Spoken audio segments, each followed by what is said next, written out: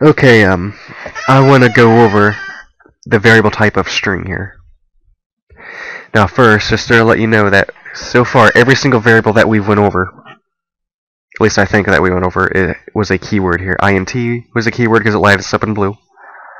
Uh, double is a keyword. Boolean. Uh, float. All of them. Every all the ones that we've known so far were, were a uh, C++ keyword here, and we could use them for different things here. Well, this time here, we're going to include a different library here. So if we had char here, let's say I had a character here, is equal to, uh, let's say it's a z. Okay.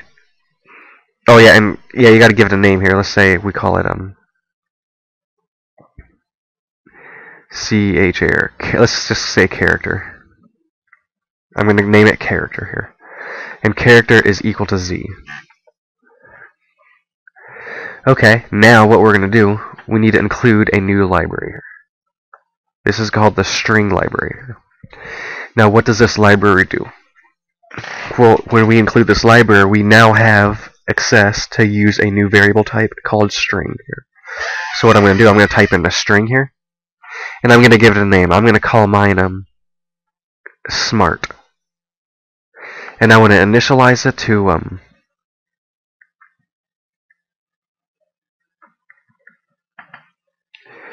I am forever smart 88. So what this what this string does here, it can store it just stores words here. So this is a variable type here. Now look at this here. Notice that it doesn't light up in blue. String is not a C++ keyword here. It's it's coming because first of all it doesn't light up in blue. That's their first hint but uh, it's also coming out of this library here. Okay, and I was going to clarify, I'm making a big deal out of keywords here because right here, I don't need any libraries to use any of the C++ standard keywords here. You might you might have figured that out already. But you do not need to use any libraries to have access to any of the C++ keywords here. So now that we need string here to use this here. Now we just use string just as if it were a value here. So we can output uh, smart here, and it'll output the uh, the, the uh, value of string here. Now uh, let me uh, pause this here so we can see it.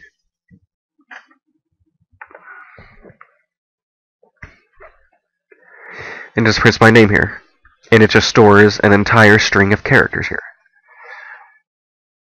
and that's a uh, so that that's it. That's what this does here.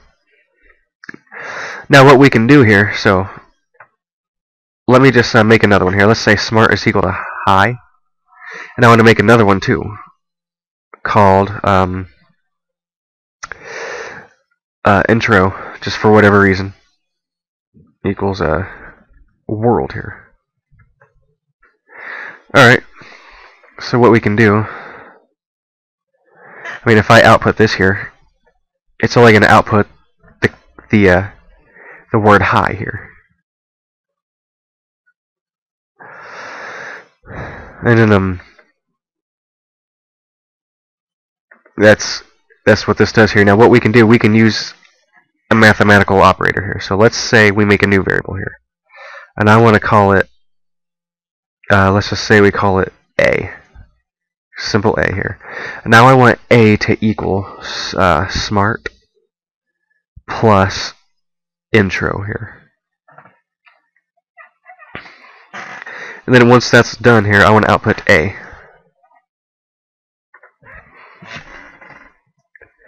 It says hi world all in one world here.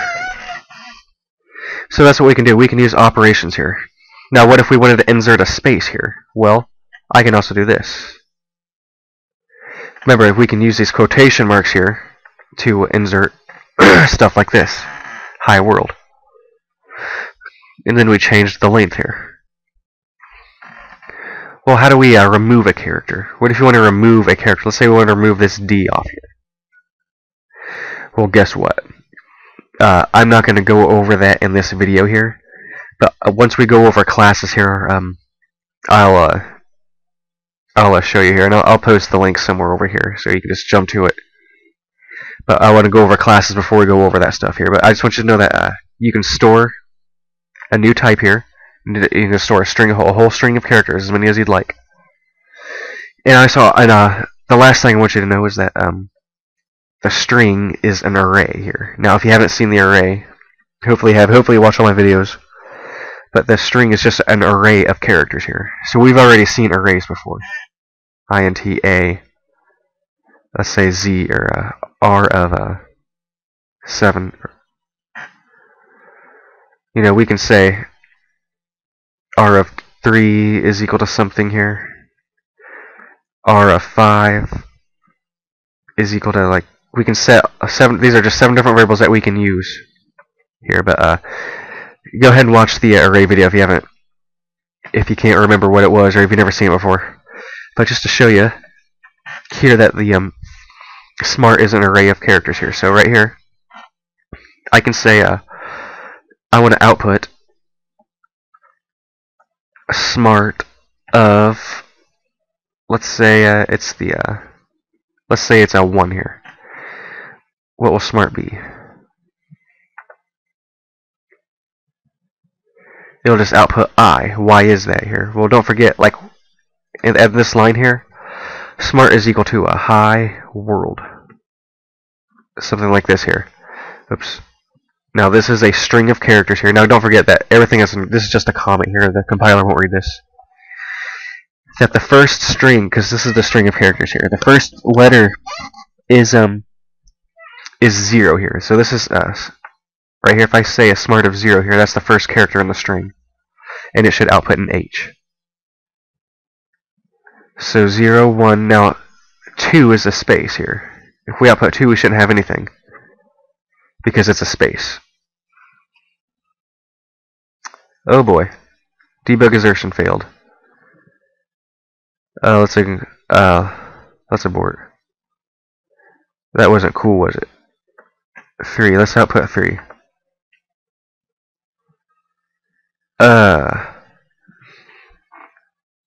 what is going on here? Let's hit retry. Alright. Let's hit continue here. Uh, oh boy. Huh. Okay, let's try this again. I might have to remake this video. Okay.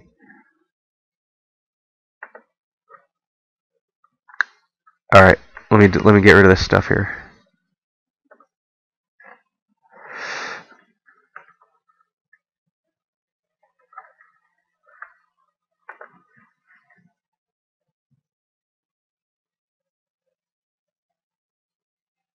Ah, that's why. Look at this here.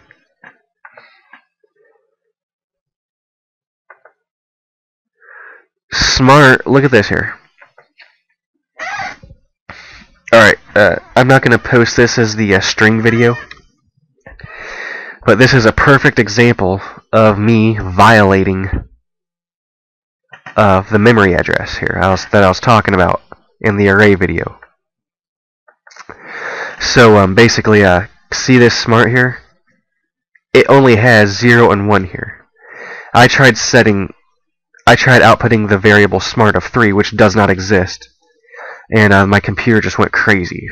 So this is the I'm going to post this video anyway as a perfect example of uh of what happens when you um when you you attempt to output stuff that doesn't exist here. And uh, I guess the only thing I could have done wrong was try setting smart of 3 equal to something else here. Let's say I tried setting equal to 8 and I run it. I'm not going to run this here then I'm changing. There's going to have some major problems here, and it could. I never tried it before, but from what I read, uh, you can give your computer some major headaches, and I would not recommend you do this here. So, you saw what was going on here, and um, that's going to be the wrap on this video here, and that's just going to be.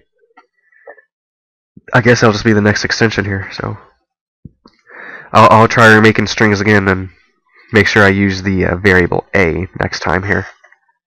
Because AF3 does exist because it does equal hi world here. Smart only had 2 here and I was using smart earlier. And uh, you saw that my computer went nuts. So, okay. That's it.